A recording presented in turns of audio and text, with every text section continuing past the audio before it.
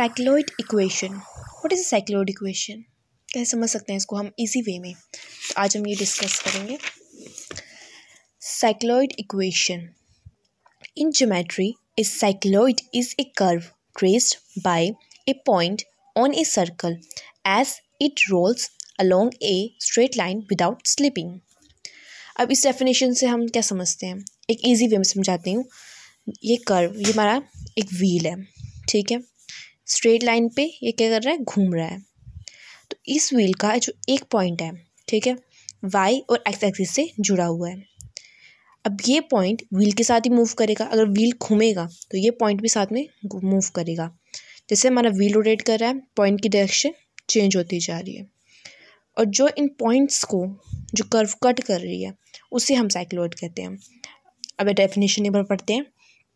In geometry a cycloid is curve traced by a point ये क्या है? Cycloid क्या है? एक कर्व है traced by a point on a circle as it rolls on a circle as it rolls on along a straight line without slipping along a straight line without slipping slip नहीं करेगा, वो roll करेगा। ठीक है?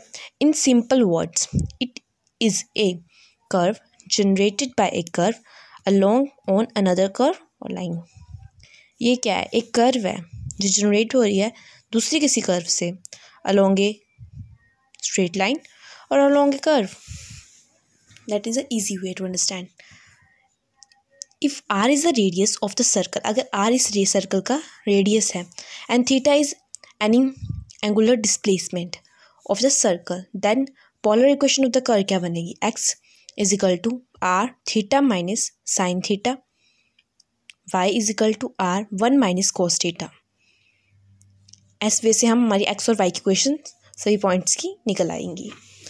तो चलो हमने cycloid तो डिस्कस कर दिया कि वो स्ट्रेट लाइन पे एक व्हील है जो हमारा मूव कर रहा है और पर्टिकुलर पॉइंट के साथ है। वैसे इलेप्टिकॉइड लेप्टिसलॉइड हेप्टो साइक्लॉइड और इपसाइक्लॉइड जो साइक्लॉइड है, वो स्ट्रेट लाइन पे मूव कर रहा है।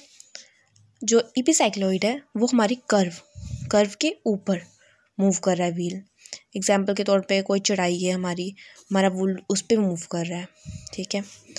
और हाइपोसाइक्लॉइड क्या है? कोई कोई कर्व के नीचे से मूव कर रहा है। पॉइंट्स है, और पॉइंट्स जो कट हो रही है कर्व इसे बोलते हैं हाइपोसाइक्लॉइड और यह इपीसाइक्लॉइड that's all